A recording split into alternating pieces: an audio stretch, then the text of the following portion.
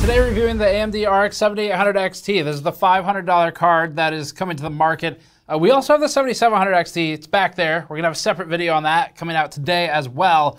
But this one is focused on the 78 XT. So for this benchmarking, a couple things to consider. One is that as with everything else, this current generation, there's a lot of last gen cards that are still very relevant and still available in a lot of cases. So we're gonna be looking at those a little more closely than we might for just say uh, any other modern GPU launch because there's a lot of options in the 400 to $500 range. Secondly, the 7700 XT is $450. There's only a $50 price gap between this and the 77, which makes that comparison particularly interesting, and that's why we want a separate video to focus on it. For this one, though, we're going to look at the 78, including in Starfield, because we can't get away from that game right now.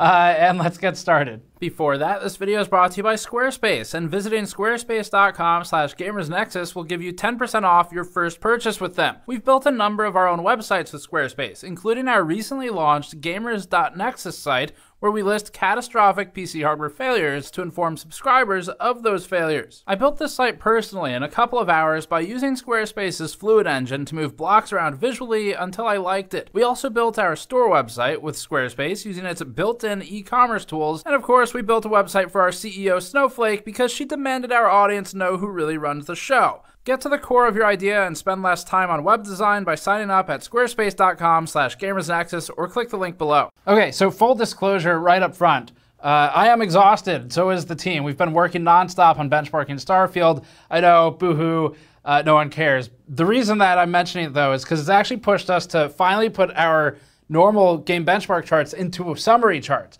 And they're actually super cool. They're gonna be at the end of this video, and the reason the exhaustion caused that is because at the end of the process, wrote all the charts, uh, and then we kind of looked at it and said, so what do we think? And we put together some summaries. Those will be at the end because we've been adding more and more games to our test suite, including uh, we've added Dying Light 2 and Resident Evil 4, and then, of course, Starfield. And so having those plus our existing suite, uh, we've got enough now where we can put together an overall percent improvement from card A versus card B. Anyway, those will be at the end to help us make a decision so we can come to conclusions. Now, uh, for this setup here, AMD thinks that this card is the true successor to the RX 6800. Not the 6800 XT, the 6800.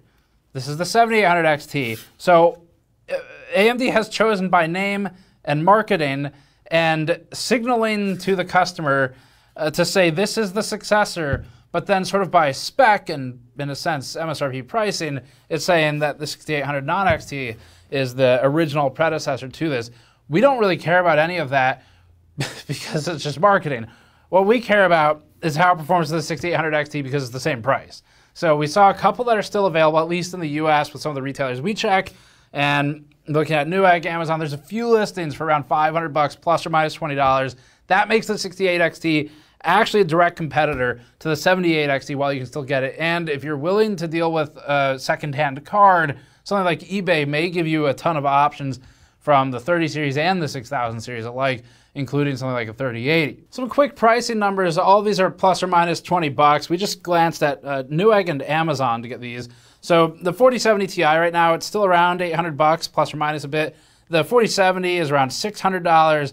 The 4060 Ti is around $400, and the 4060 non-Ti is 300. For AMD, if you haven't checked in a while, the 7900 XT has fallen in price since launch. It's about 800 bucks plus or minus a bit now. The 6950 XT, if you can find it, uh, appears to be 630, but we really didn't see many listings. The 6900 XT, same situation. That was about 600. 6800 XT was 500 or so when we could find it. And then 6700 XT was about 330. So those set up the key comparison points versus the 6800 XT. Uh, we're not going to go through the spec sheet today. We already have a, a, spec video on this. If you want to check it out, we talk about it there. Uh, the main difference, though, is that this is a cut CU count from the 6800 XT. So the difference there is 12 CUs. If you look at AMD's spec webpage, it's 60 versus 72. Uh, and that's going to contribute in situations where architecture alone and frequency changes can't pick up for the 12 CU difference because technically one to one they're not directly comparable. There are changes generationally, but uh, there's still an advantage to those CUs, and we're going to show you that today in our summary chart, especially for, for some of the 4K tests. So that's enough setup. Uh, we've got a lot to go through today for data. We have compacted it a lot more than normally, though. So the, the, charts, we speed run, run them after we get through the first couple. Let's get into it. We'll start with Starfield, seeing as that's what we've spent the last week testing. At 4K high, the RX 7800 XT ran at 48.7 FPS average, with lows at 37 and 27. Those are paced similarly to what we saw elsewhere.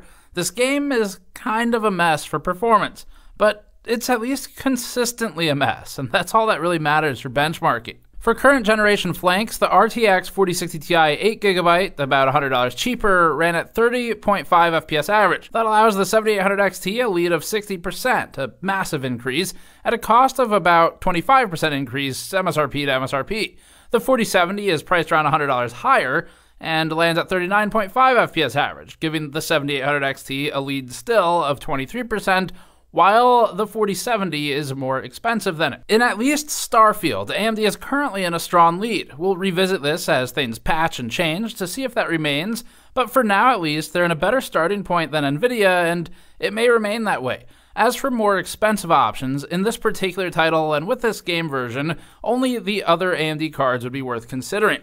The 7900 XT improves by 32% at 64 FPS average, while costing around 790 to $820 or so today. Finally, as compared to the 6800 XT, which is a similar price if you can still find one, the 7800 XT holds a lead of about 10%. The game may be messy for performance, but AMD's relative positioning is currently extremely competitive for the 7800 XT in this title. At 1440p high, the 7800 XT ran at 79 FPS average, with lows at 50 and 36. That has it ahead of the 6800 XT by 10%, so that much remains the same. The 7900 XT leads the 7800 XT by 22.5% in this test, down from 32% previously.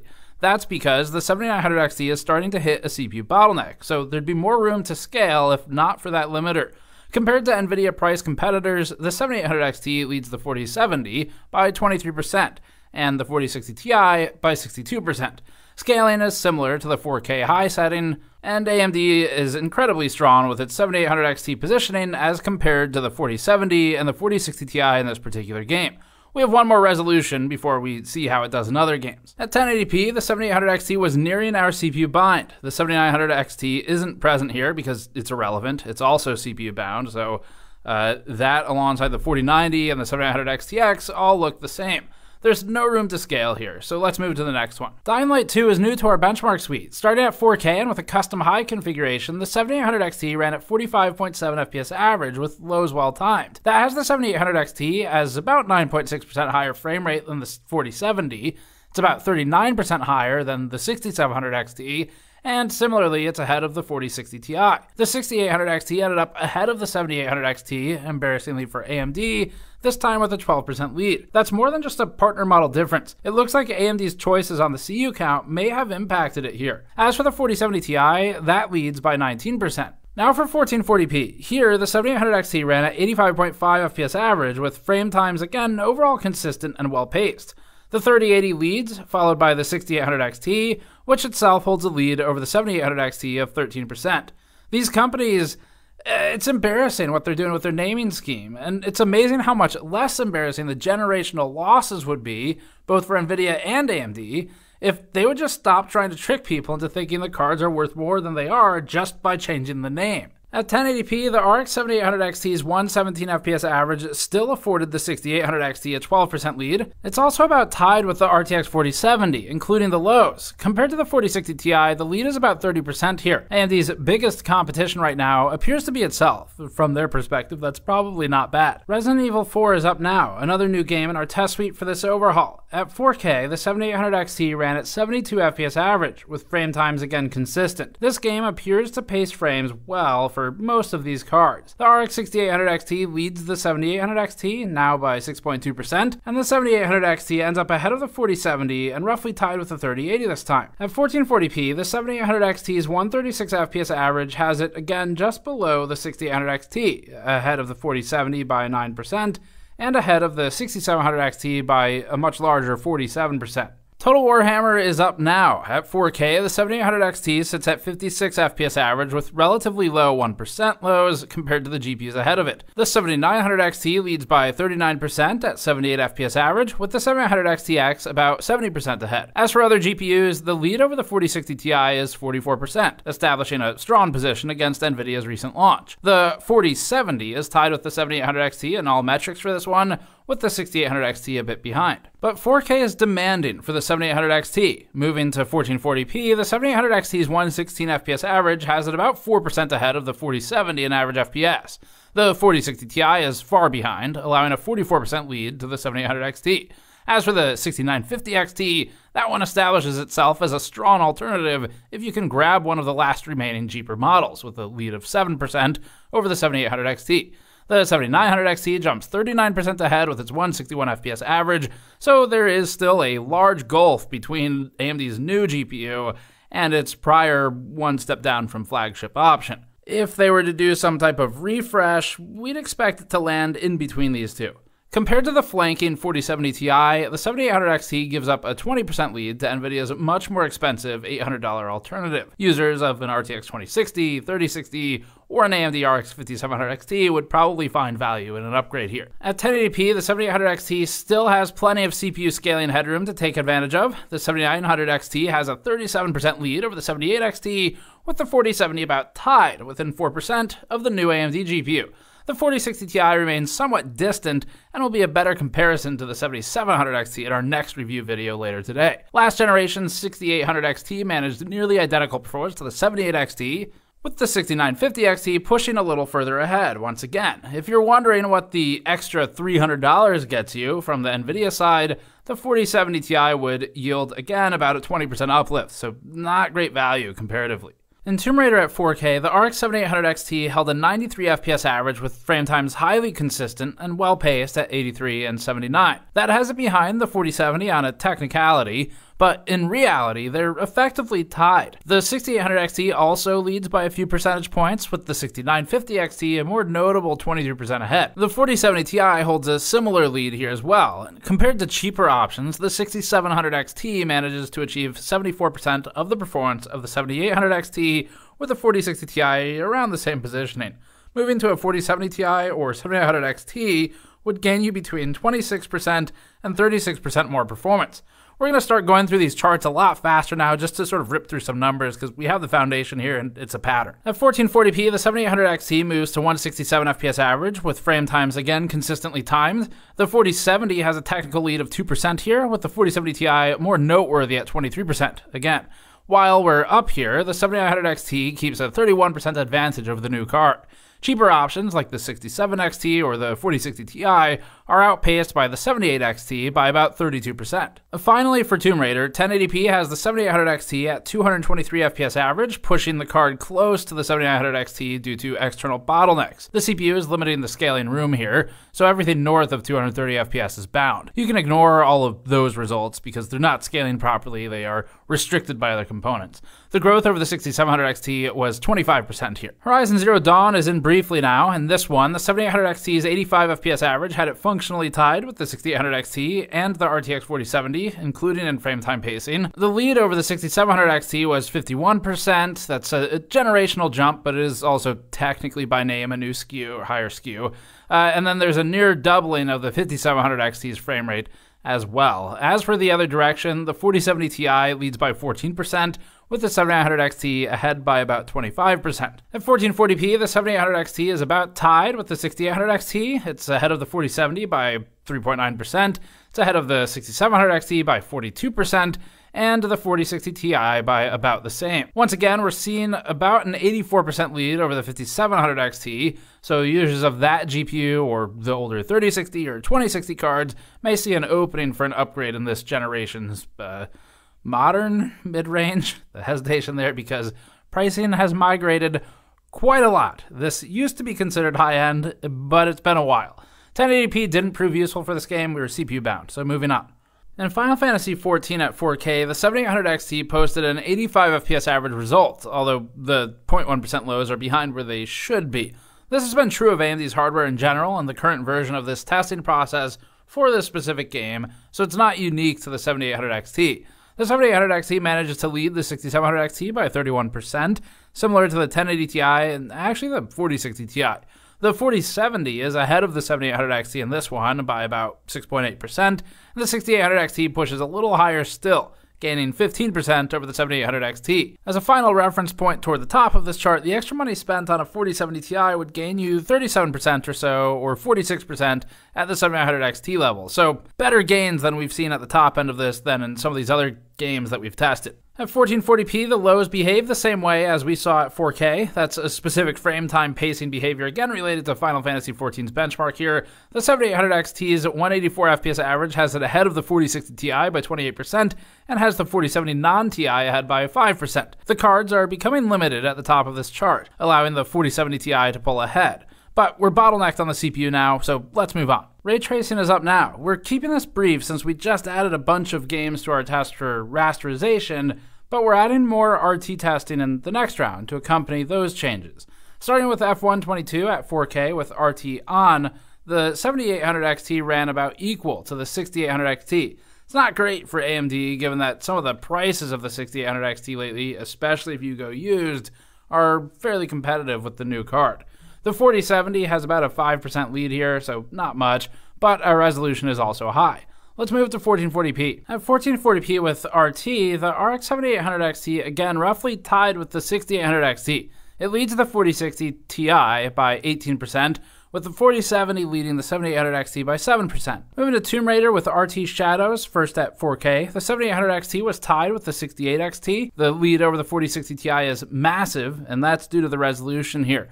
That reduces and compresses as the resolution also reduces. The 4070 maintains a 5% lead here. 1440p brings the lower end closer to the 7800 XT, like the 4060 Ti, but it allows the 4070 to pull ahead a little bit and grow its lead to 10% now. Otherwise, the 6800 XT again is about the same as the 7800 XT. Now for power consumption. The RX 7800 XT pulled 248 watts when stock in a full workload. Overclocking it gave us headroom up to 293 watts that has the stock 248 watt 7800 XT as more efficient than, for example, Intel's A750. NVIDIA's 290 watt 4070 Ti TUF, the one by Asus, pulled more power but also ran a higher frame rate than the 78 XT. Compared to the 6800 XT, the 7800 XT consumed about 50 watts less power in this workload. All right, conclusions. So, again, full disclosure, it's been an exhausting week with the Starfield benchmarks plus this.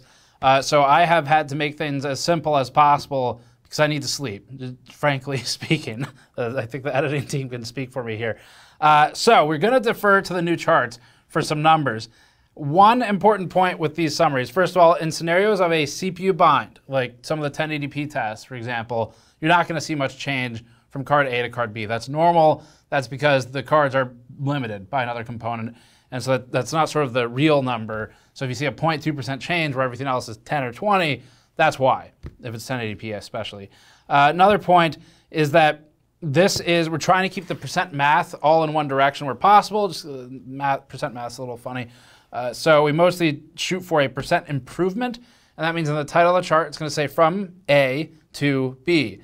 That means from baseline card A, so let's say a, a 7800 XT to a 6800 XT what is the percent improvement going that direction? Because that is actually how this ended up working, as you saw in the video. Okay, so this first chart is for the 4070 versus the 7800 XT, and it shows the percent improvement from the 4070 to the 78 XT, meaning that the favor is the 7800 XT here. The 7800 XT generally bested the 4070, sometimes in large ways. You see that particularly at 4K. But we already know the 40 series, like with say the 4060 Ti versus the 3060 Ti, has issues with these higher resolutions. But now the chart is flipped. This is with ray tracing. So now we're looking at the change from the 7800 XT to the 4070. When ray traced, the 4070 was a clear winner. It's anywhere from 5 to 15% better in these charts with RT workloads. We had another game as well. It's not on this chart uh, but we're adding a couple more ray trace games now that we've refreshed the rasterized games. This summary chart looks at the improvement from the 7800 XT to the 6800 XT, meaning that the bars going in the positive direction to the right are the percentage advantage that the 68 XT has over the new 7800 XT. In most of our tested scenarios, the 6800 XT bests the 7800 XT It's embarrassing by name at least. Fortunately for AMD, the 6800 XT had a higher initial MSRP. Unfortunately for AMD, it's readily available for cheap if used, or in a couple places we checked, about the same price when new. Some of the improvements are drastic, like Strange Brigade, Vulkan especially, uh, like at 4K, or Final Fantasy at 4K. Some are more tempered. Here's the chart for the 4060 Ti to the 7800 XT. In this one, the 7800 XT has it by a mile. Sorry, some of you don't use the Imperial system, I forget about that.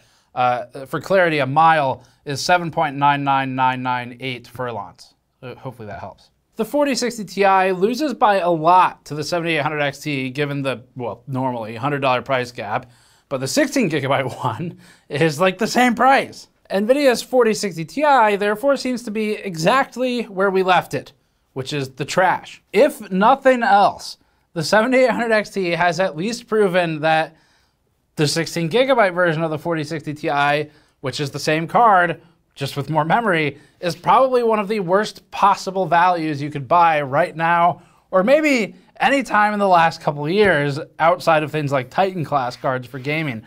So uh, that that hasn't changed. The 4060 Ti still doesn't make much sense.